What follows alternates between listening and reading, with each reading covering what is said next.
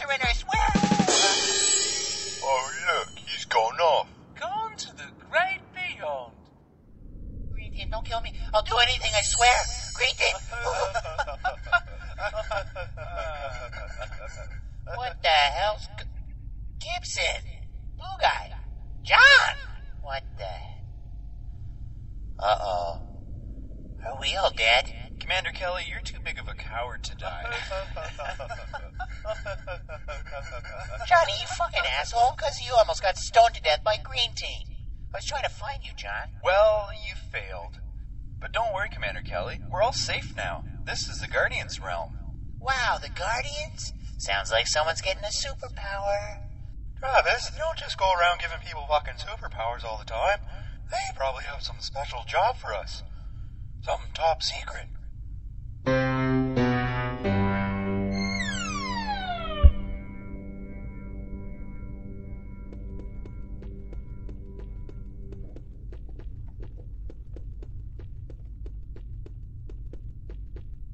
John, do they always teleport you in and then walk a 100 meters to greet you? Yeah, it's it's a little strange. We are the Guardians. You have been brought here to realize your destiny. Hey, uh, what does that symbol on your forehead mean?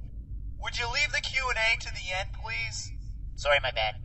It symbolizes your belief in an eternal controlling power.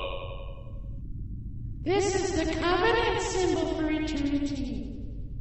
I don't suppose you know the symbol they use on Baraticus 7. You mean this one? That's the one.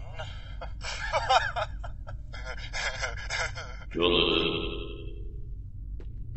What have you done to correct the imbalance? What have I done? What do you mean? Lots of things. From A to Z. We observed the shenanigans with the pyramid. Oh, yeah. Unproductive. Well, all work and no play makes Johnny a dull messiah.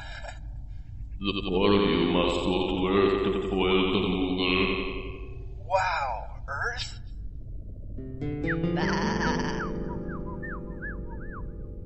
That is not Earth.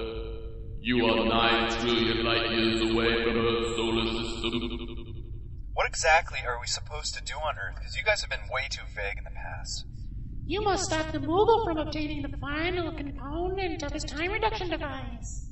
Which is? A big, long, pointy thing. What? The? That could be anything. Not anything, a pointy thing. Okay, this is getting a little weird now. Okay, let me get this straight. You can teleport us around the ring. You know all and see all, but the best thing you can do for a mission briefing is a big long pointy thing?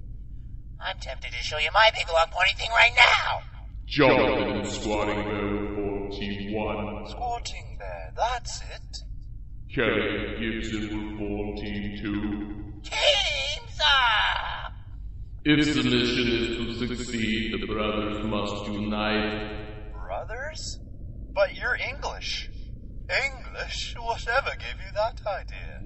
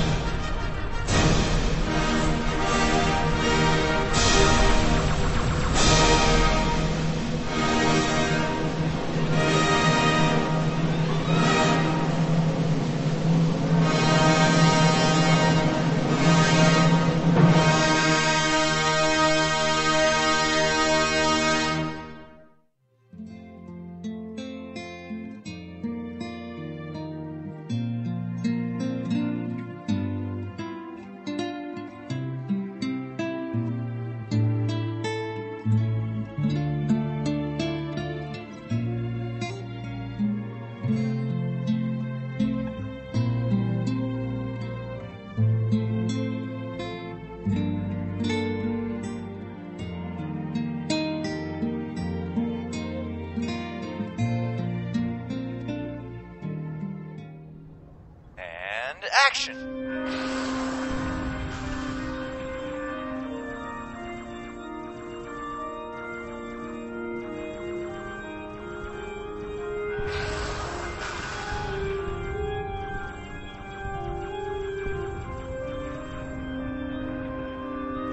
Whoa, cut, cut, cut. Why'd they stop running? I didn't tell them to stop running. Douglas, what, what, what happened over there? Why did they stop running?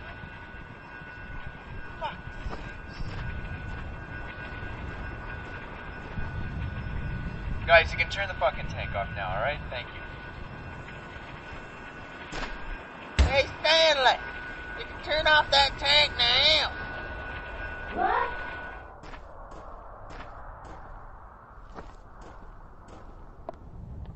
Hey, hey, Jan, Jan!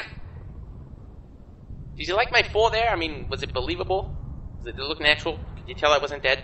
Douglas, it was so convincing, I was about two seconds away from calling an actual ambulance. I can never tell when that guy's being sarcastic.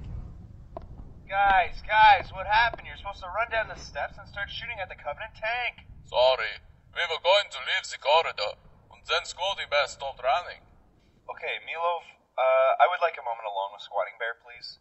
Alright.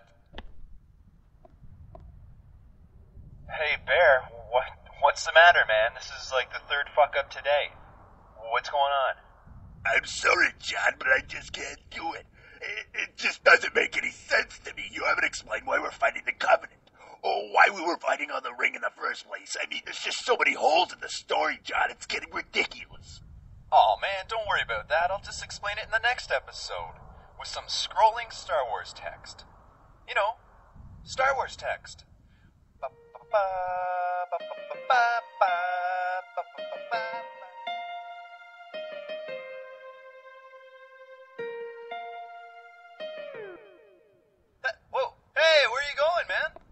some scenes to shoot.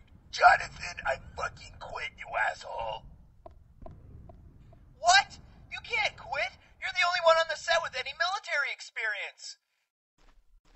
Do you have a problem with my stunt double? I'll get rid of Milov. He's nothing. He's nothing. I'll give you 20% of the t-shirt sales. Shit.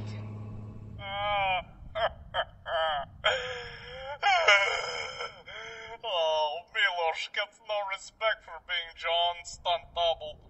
You try dodging bullets all day long. John is cruel director. Why must we use real ammunition? Oh man, this is too stressful. I'm taking the rest of the day off. Attention to all actors and film crew. Please report to your respective hotels, for today's filming session has come to an end. Ah, oh, Milos gets no respect for being double.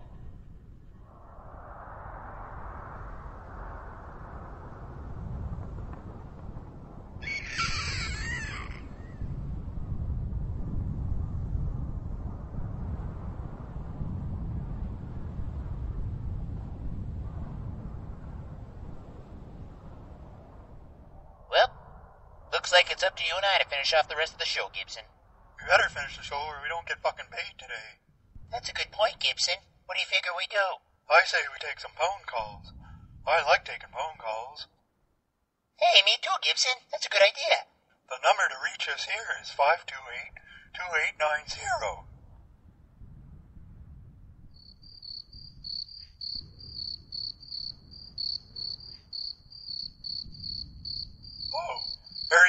613. Hello, caller. You're on the air. Go ahead. Yeah, this is Warren in Kansas. What's up? Uh, what's with the Covenant dude? Oh, um, uh, Wart, Wart, uh, Wart? Oh, come on. We never work with the Covenant. I mean, they're ruthless creatures. Next caller. Yeah, this is Marty in Delaware. What the hell happened to the big boy? I don't know. I asked the writers about that the other day, but they didn't seem to know what the hell I was talking about. Next caller. Yeah, this is Spencer. Oh, that's great. Where are you from, little guy? I'm in America. I live in a foster home. Oh, really? Are your foster parents being nice to you? Spencer, get off the phone. It's time for dinner. Who are you talking Uh, to? I want to know why the Guardian's voice keeps changing. Bye! What have I told you about watching that trash? Well, Spencer, to answer your question, the Guardians can change their voice depending on who they're talking to. So if they're talking to a Covenant elite, they'd say. but if they were talking to one of Gibson's androids, they'd say. comprende? Yeah, same in Belfast. If John went to Green Base to get their flag, then how come he came back with a fucking blue one? What you, That's what I'd like to know. Man, there's a lot of holes in this story. Next caller. Yes, hello, this is Habib in New Delhi. My question for you. Is John really a messiah? I mean, come on, he made one prediction, and we are supposed to believe that he is going to save mankind. He is a horrible messiah. He goes around and all he does is kill people. He's a terrible, terrible example to young people everywhere. Thank you.